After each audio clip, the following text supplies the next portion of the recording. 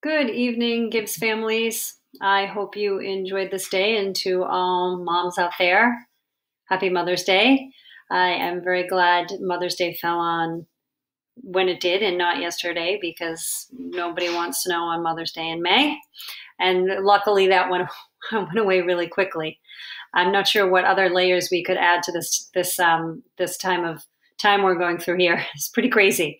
Um, I wanted to uh, come out to you with a with a vlog today to talk a little bit about uh, some of the feedback that I've been getting, and also to uh, follow up a little bit on the uh, forum that we had last week. The district ran. I got a chance to talk a little bit um, live about what we were doing at Gibbs, and I did mention an activity tracker and a new and updated activity tracker for students. So I have that to show to you today.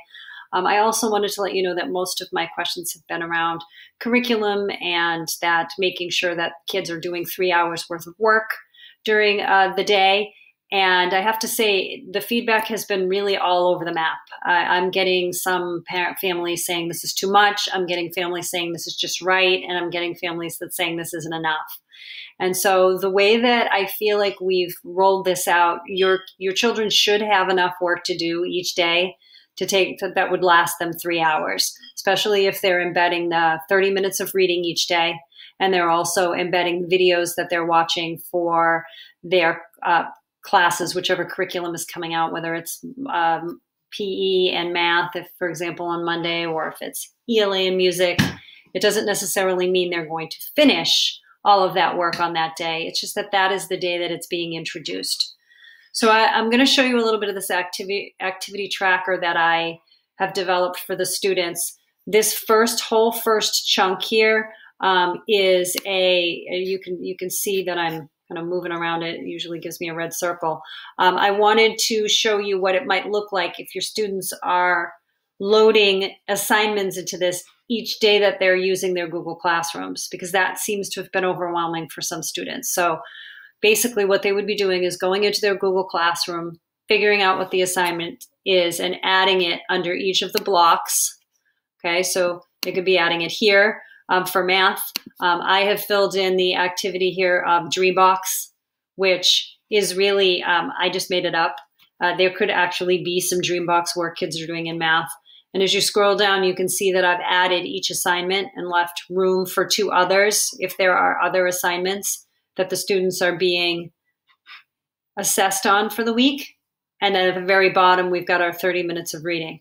And what I like about this is that students can go right in when they finish something and give it a check. So as you see now, it's complete. I'm done with that for the week. I've turned it in. I'm not going to worry about that anymore. I'm going to move on to the next thing. I also have over here on the left a free time menu where kids are brainstorming what they're going to do for free time, where they're going to fill those blocks in. Still important for them to think about their schedule and blocks so we're now giving them a lot of what they should be doing during their academic blocks. But they still have those free blocks and they still have blocks for getting outside and exercise and, and, and those kinds of things. And so I've given them a little bit of a space to, to brainstorm that.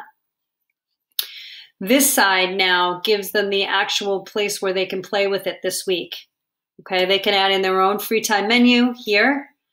Um, all of the subjects are there for them as they're going through their Google Classrooms, as the curriculum comes out, they can jot their assignments into the sections.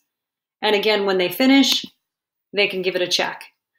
So this has been shared with you. It's also been shared with the students. It is in our Google Classroom where I'm, allowed, I'm able to make them each a copy. So they'll each have a copy of this to be taking a look at.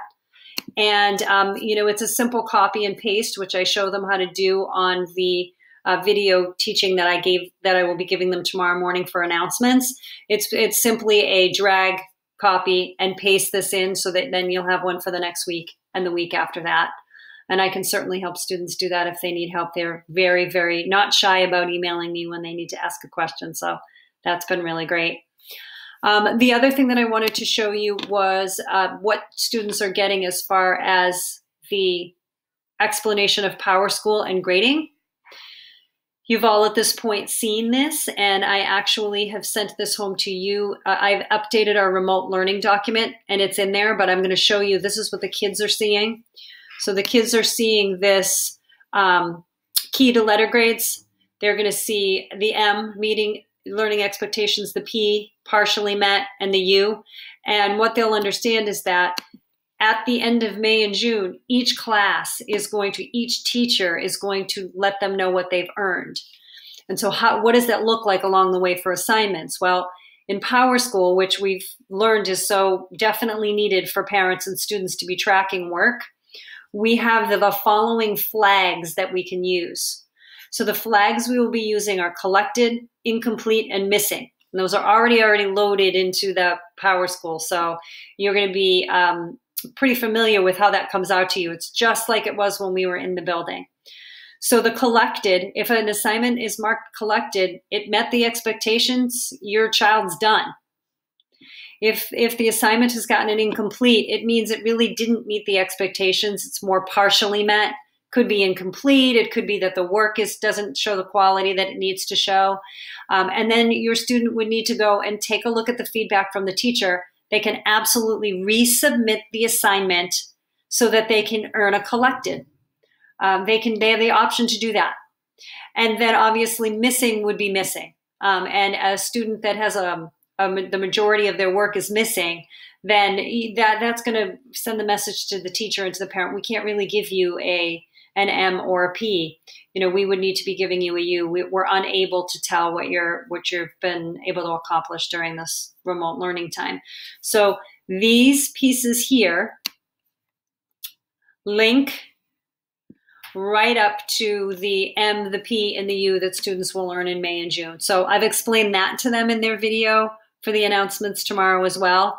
Um, they have a link to this document, and this information is also in the remote learning document that you have in your Sunday greeting email this evening.